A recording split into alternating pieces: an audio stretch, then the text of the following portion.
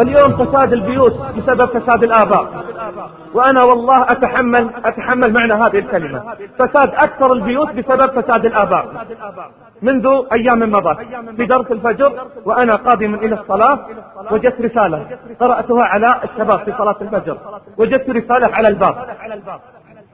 أخذتها قرأتها على على الإخوان في درس الفجر. من شاب من شاب صغير في العمر يقول أنا أريد الاستقامة لكني ما وجدت المعين. ما وجدت المعين مش في الشارع ما وجدت المعين في البيت. أبي يحاربني في البيت. المعاصي والمنكرات ملأت بيتنا. إذا دخلت قالوا جاء المنافق. وإذا خرجت قالوا فكه منك ومن أشكالك. أصحابي يحاربونني في الخارج. يقولون لي أيام وتنضم إلى طائفة الإرهابيين. وين يروح الشباب طيب؟ إن كانوا يحاربون في بيوتهم. إن كانت الشاشات والقنوات ملأت البيوت وملأت مسامع أهل البيت يمنة ويسرى أين يذهب الشباب؟ إن كانت المنكرات في البيوت. طيب على طرف هذا شاب يستطيع الخروج إذا ضاقت عليه الأمور. الفتاة وين تروح؟ البنت وين تروح؟ وهي تحارب في بيتها. ماذا تقدم لنا الشاشات والقنوات؟ فاحشة ورذيلة يا إخوان موسيقى وألحان. أمة الجهاد أصبحت تصحو وتنام على الموسيقى والألحان. وتبيت وتنام على أفلام ومسلسلات. إيش تغير هذه الأمة؟ إذا ما تستطيع الأمة تغير نفسها ما تستطيع تغير واقع الآخرين. الفساد في البيوت. الفساد يلاحق الشباب حتى في البيوت. أين نذهب؟ إيش وظيفة الأب كل أب يتمنى أن يكون له ولد صالح. أليس كذلك؟ لكن في المقابل إيش قدم؟ إيش قدم حتى ينال هذا الفضل العظيم؟ وظيفة كل راعي في بيته أنه يهيئ لأبنائه ولبناته البيئة الصالحة التي يعبد فيها الله تبارك وتعالى. وظيفة كل أب في البيت أنه يطهر البيوت من الفواحش والمنكرات. وإلا ينتظر العقوبة من رب العالمين. من استرعاه الله رعية. اسمع أيها الأب من استرعاه الله رعية. ومات حين يموت وهو لها غاش لم يشم رائحة الجنة. من غشها إدخال الأطباق في البيوت. من غشها عدم مراقبة البنين والبنات وترك الشاشات والقنوات تعيش فسادا في أخلاق البنين والبنات. واحدة تقول أخي يتحرش فيني وأخرى تقول عمي يتحرش فيني وأخرى تقول اعتدى علي أبي. وين يروحون طيب؟ أين يذهب البنون؟ أين تذهب البنات؟ إن كان الخطر في البيوت. إذا لابد أول ما نبدأ نبدأ بإصلاح. نبدأ بإصلاح البيوت. ابدأ بنفسك فانهى عن غيها. تأمر أهل البيت بالصلاة. صلي أنت. هذا يقول لي أبي سنين ما دخل المسجد. ادعوا لأبي سنوات ما دخل ما دخل المسجد. أي آباء هؤلاء؟ وأنا إذ أقول الأب لأنه هو الراعي. الأب هو المغير. الابن يقول سبحان الله بعض الشباب يدخل في عراك وحرب مع أهل البيت. السبب المنكرات. لا يجد من يعينه بل المرأة المسكينة الضعيفة حين أدخل زوجها الطبق قالت له أنا أو الطبق؟ قال بل الطبق أنت تخرجين من البيت. آثر الآباء شهواتهم ولذاتهم وغفلتهم على أن على أن يطيعوا أوامر الله وأوامر رسوله. كيف يتغير الواقع؟ لابد على كل منا أن يقوم أن يقوم بمسؤوليته. بعض البيوت دخلت في مواجهات بين الأبناء والبنات. السبب الحرب على المعاصي. بعض الأبناء ما استطاع يتحمل. ما استطاع يتحمل. قال كيف أتحمل وأنا أرى خواتي يفسدن أمام عيني؟ كيف أتحمل وأنا أرى أبي فيه من الدياثة؟ ما الله بها عليم. أخواتي ينظرن إلى المشاهد الإباحية في الشاشات والقنوات وأبي لا يحرك ساكت. إلى متى أنا أسكت؟ إلى متى يسكت الشاب؟ متى يستطيع إلى متى يستطيع أن يتحمل مثل هذه المناظر؟ يقول آخر مع الوقت اكتشف مع مثل هذه اكتشف أن أختي لها علاقة مع رجل. إيش أصنع؟ ماذا أصنع؟ أتقاتل مع أبي؟ أم أخرج من البيت؟ هذا هو الواقع اليوم يا إخوان. هذا هو الواقع اليوم. يقول اكتشفت إن لأختي علاقة لكن من السبب؟ السبب الذي وفر لها أسباب الضياع في البيت. شاشات وقنوات. إيش يعلمونهم؟ ماذا تعلموا من اكاديمية ستار تقول تلك تعلمت أنه لا حرج أن البنت تكون لها علاقة مع الرجل. لا حرج أن تتعرف عليه. لا لا حرج أن تتعلم فنون الحب قبل قبل الزواج. سبحان الله. في البيوت من الدياثة ما الله به عليم. ونسكت. يلام الشباب إذا دخلوا في مواجهات ومصادمات مع الآباء. والله ما يلامون. لكن نقول اصبر واحتسب. وداري أهل البيت بالمداراة.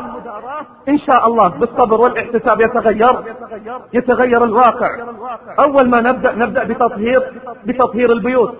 سمع الخطبة ذاك اليوم. يوم أعلنا الحرب على الدشوش. الحضور أربعة آلاف. الحضور أربعة آلاف في الخطبة يا إخوان.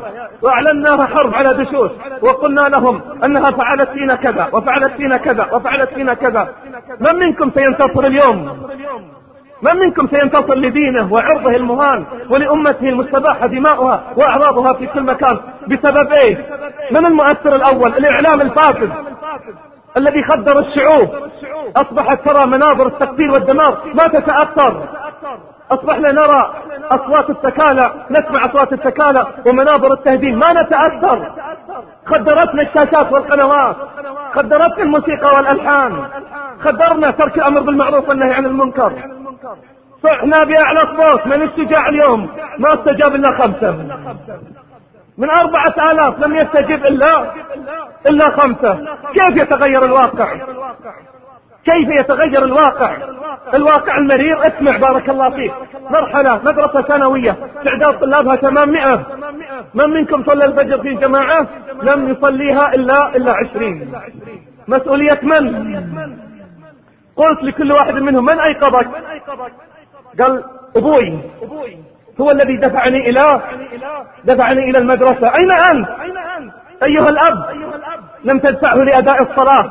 وطاعة رب الأرض والسماء. أين أنت؟ وأنت تراه يغدو ويروح مع الأصحاب.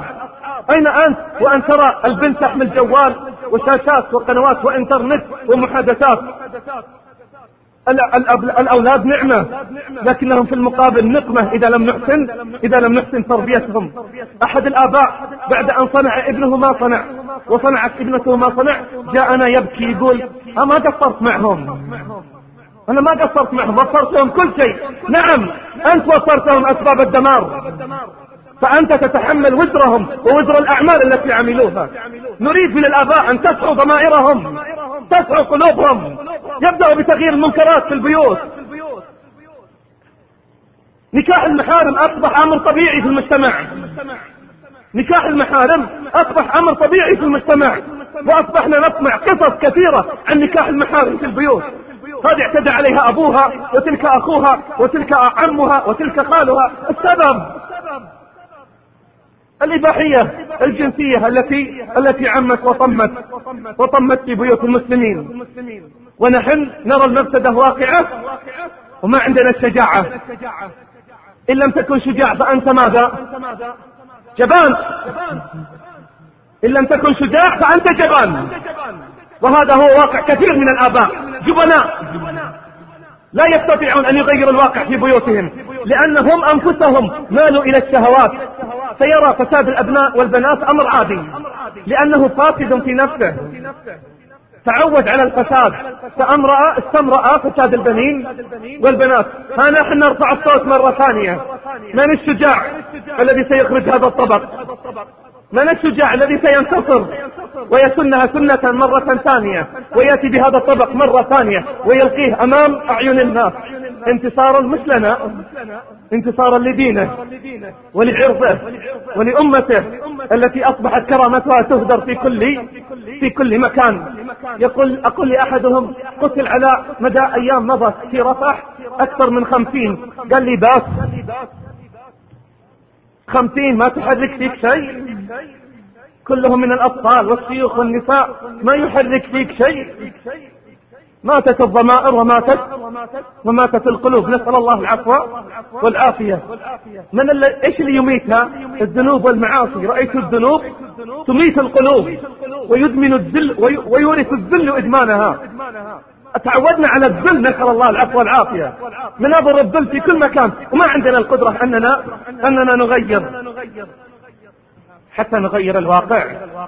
لابد يكون عندنا شجاعة. لابد يكون عندنا شجاعة. حتى نستطيع أن ننجو بأنفسنا وننجو بالآخرين. والله إن السفينة على وشك الغرق. اللهم آمنا في أوطاننا واصلح همتنا ولاة أمورنا اجعل ولايتنا في من خافك واستقاك واتبع رضاك. يا رب العالمين طهر بيوتنا وبيوت المسلمين وطهر بلادنا وبلاد المسلمين. يا حي يا قيوم يا ذا الجلال والإكرام. أستغفر الله العظيم وصلى الله على محمد وعلى آله وصحبه أجمعين.